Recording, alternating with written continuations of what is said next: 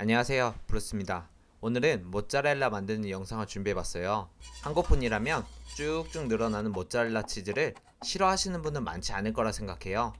이 모짜렐라 치즈 직접 만들어 보고 싶지 않으세요? 지금부터 제가 하나하나 만드는 방법을 알려드릴게요. 그럼 시작해볼까요?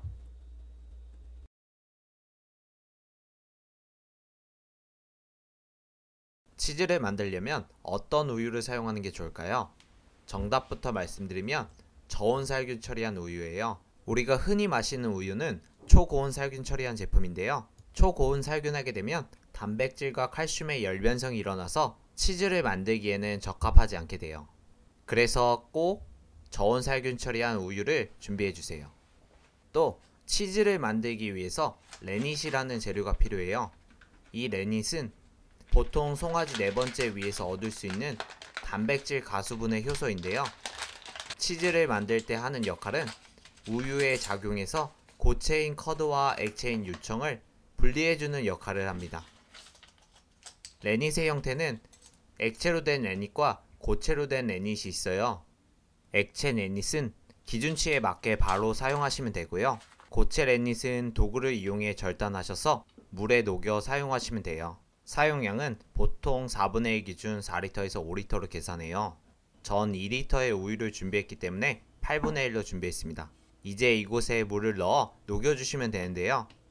수돗물보다는 중류수나 정수물을 사용해주세요.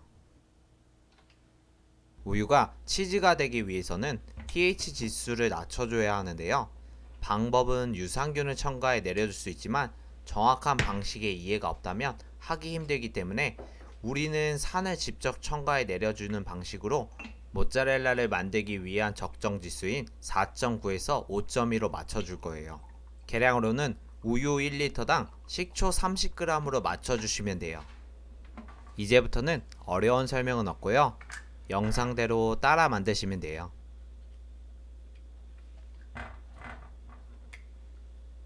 우유를 냄비에 넣어줍니다.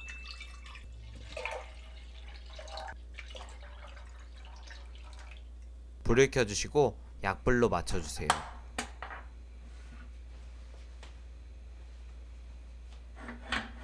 계량한 식초를 냄비에 넣어주고 잘 저어주세요.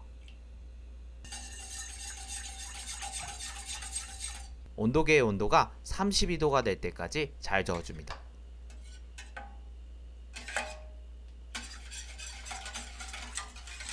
(32도가) 되면 불을 꺼주시고 잘 녹인 랜닛을 넣고 섞일 수 있도록 저어줍니다. 이제 뚜껑을 닫고 20분간 기다려줄게요. 20분 후 뚜껑을 열어보시면 육안으로는 구분하기 힘들지만 만져보시면 단단하게 카제인 단백질이 하나의 커드로 변형된 모습을 보실 수 있을 거예요. 이제 칼을 이용해 커드를 작게 잘라주시면 돼요. 저는 치즈를 만들기 전부터 이 커드 커팅식이 너무 하고 싶었어요. 커드 커팅식이 끝나면 다시 불을 켜주시고요. 온도를 40도까지 올려주세요. 온도가 40도에 도달하면 다시 뚜껑을 닫고 20분 더 기다려줄게요. 이제 고온 체에 커드를 건져주시고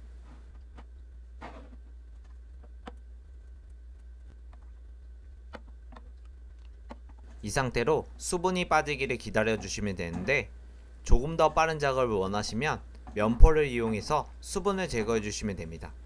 이제 치즈를 스트레칭 해줄 건데 90도로 끓기 직전에 뜨거운 물을 준비해 주시고요.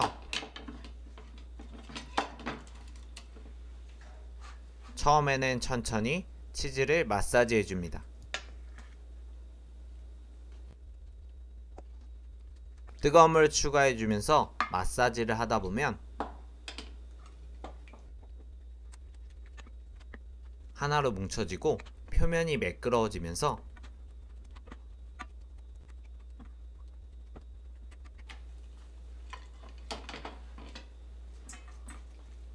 이렇게 늘어나기 시작해요. 보기만 해도 기분 좋아지지 않으세요?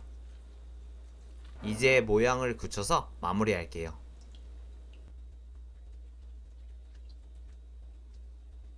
그 전에 어디까지 늘어나나 한번 볼까요? 무슨 수타면 같지 않나요? 이제 진짜로 모양을 잡아줄게요.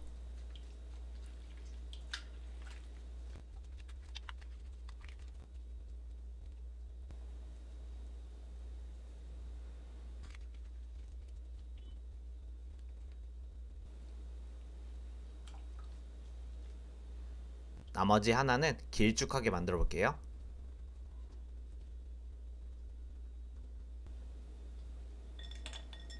짜잔! 모짜렐라 치즈 완성입니다. 보관법은 치즈를 만들 때 나온 유청을 용기에 담고 치즈를 넣어 냉장 보관해 주시면 됩니다. 모짜렐라는 수분이 많은 생치즈이기 때문에 보관 기간이 2일 정도로 짧은 편이에요. 빨리 드시는 걸 추천드릴게요. 만들었으니까 먹어봐야겠죠? 간단하게 카프레제 샐러드 만들어 볼게요. 바질 페스토부터 만들어 볼 건데요. 쉬운 버전이라 생각하고 봐주세요. 전통 바질 페스토가 궁금하시면 위에 링크를 확인해 주세요.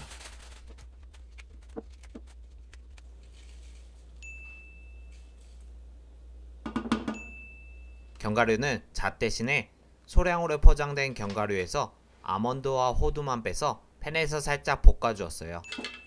엑스트라 버진 오일을 넣고 블렌더로 갈아주면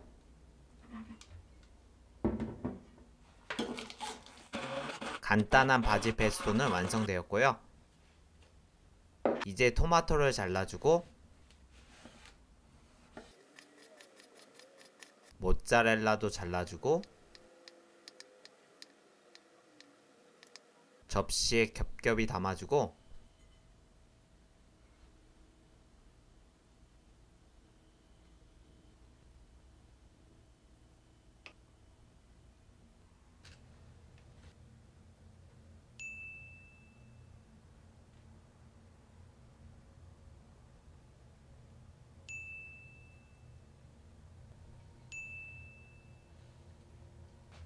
어때요?